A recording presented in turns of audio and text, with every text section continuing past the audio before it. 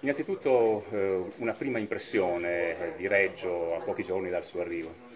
Sono particolarmente contento di, questo, di questa destinazione e come dicevo la città mi ha particolarmente entusiasmato per la sua realtà, la sua vivacità e che rappresenta un tessuto connettivo sociale sano, estremamente produttivo e quindi mi auguro insomma, di poter svolgere un lavoro proficuo per la comunità dedicando tutto me stesso. Quali sono gli obiettivi di questo suo nuovo incarico? Il mio incarico è quello di condurre, di, diciamo, di coordinare le forze dell'arma di carabinieri a livello provinciale al fine di poter garantire la sicurezza che la comunità reggiana si aspetta dalla, dalla nostra istituzione, soprattutto auspicando di poter colpire quei fenomeni più pervasivi di criminalità predatoria che sono alla base di quel senso di insicurezza che la comunità percepisce. Accanto alla criminalità comune ovviamente ci sono le grosse organizzazioni criminali criminali.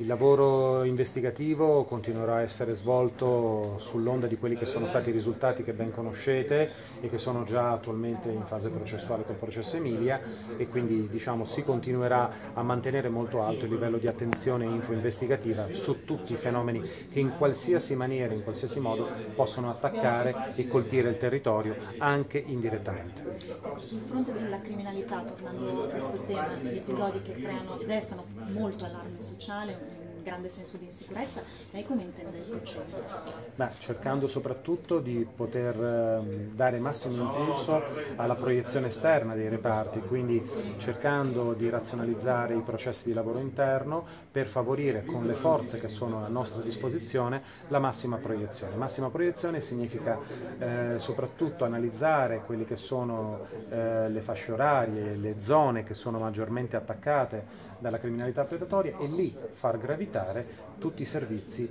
eh, possibili. E se laddove tutto ciò non dovesse bastare, ovviamente eh, chiederemo, e mi auspico di poter ottenere in accordo con le autorità di pubblica sicurezza, anche il supporto dei reparti mobili dell'arma eh, che possano da, eventualmente effettuare dei servizi straordinari di controllo del territorio. Quindi là dove le forze non bastano si, deve, si può e si deve auspicare ad un maggiore coordinamento e a ottenere anche da parte